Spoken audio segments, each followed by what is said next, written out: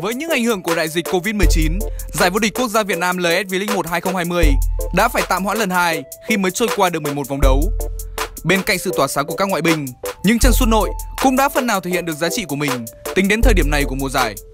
Hãy cùng chúng tôi đi tìm top 5 cầu thủ nội đang dẫn đầu danh sách ghi bàn tại LS V-League 1 2020.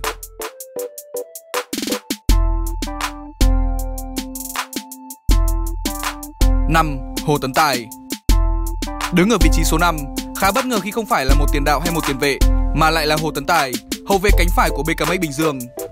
Nổ súng 3 lần ở V-League 2020, Hồ Tấn Tài đang nổi lên như hậu vệ săn bàn số 1 tại giải quốc nội. Thậm chí, thành tích ghi bàn của anh ở V-League mùa giải năm nay còn vượt cả những tiền đạo nội khét tiếng như Nguyễn Văn Toàn hay Phan Văn Đức. Nên nhớ, ở hai mùa giải 2018 và 2019, Hồ Tấn Tài phải cần tới 46 trận cùng hơn 4.000 phút thi đấu mới có thể đóng góp 3 bàn thắng cho BKM Bình Dương tại đấu trường V-League. Với những màn trình diễn ấn tượng từ đầu mùa cùng khả năng dứt điểm lợi hại, rõ ràng hậu vệ sinh năm 1997 đang ngày một trưởng thành và hoàn thiện kỹ năng của mình với tốc độ đáng nể. 4. Hà Đức Trinh Cũng giống như Hồ Tấn Tài, tiền đạo Hà Đức Trinh đã có 3 pha lập công cho SHB Đà Nẵng ở V-League 2020. Đáng chú ý, Đức Trinh chỉ cần vỏn vẹn 7 trận để có cho mình 3 bàn thắng.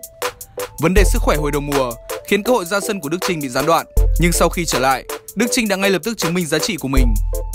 Ba bàn thắng tính đến lúc này cũng giúp Hà Đức Trinh vượt qua thành tích của chính anh ở mùa giải trước, khi cầu thủ sinh năm 1997 chỉ ghi được hai bàn sau 23 lần ra sân ở V-League 2019. Trong bối cảnh ngày càng được huấn luyện viên Lê Huỳnh Đức tin tưởng, Đức Trinh hứa hẹn sẽ còn tỏa sáng hơn nữa trong màu áo SHB Đà Nẵng khi V-League trở lại guồng quay.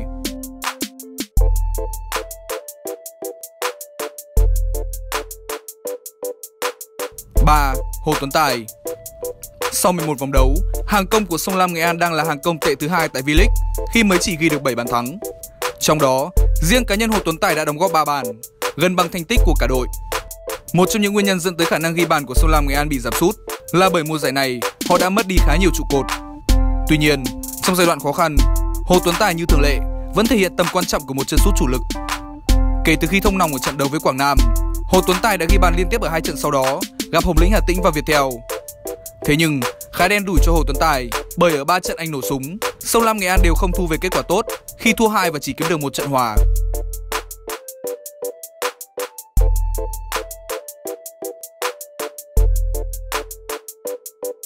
hai Phan Văn Long Dù V-League 2020 mới trôi qua được khoảng nửa chặng đường, nhưng có thể khẳng định đây là một giải bùng nổ nhất của Phan Văn Long kể từ khi ra mắt đấu trường số 1 Việt Nam.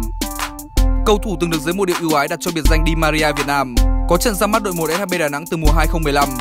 Tuy nhiên, phải đến mùa 2017 anh mới được sử dụng nhiều, nhưng cũng không ghi được bất cứ bàn thắng nào. Hai mùa giải gần nhất là 2018 và 2019, Phan Văn Long cũng chỉ ghi được tổng cộng 4 bàn. Tuy nhiên, bước sang mùa 2020, cầu thủ cùng lứa U19 Việt Nam với những công phượng Tuấn Anh Xuân Trường đã nổ súng tới 4 lần chỉ sau 11 trận tại V-League, bằng với thành tích của chính anh ở năm mùa giải trước đó. Phan Văn Long tiết lộ, anh được huấn luyện viên Lê Huỳnh Đức cho phép thi đấu tự do hơn ở mùa giải này và đó là một phần nguyên nhân giúp Phan Văn Long cải thiện rõ rệt hiệu suất ghi bàn của mình.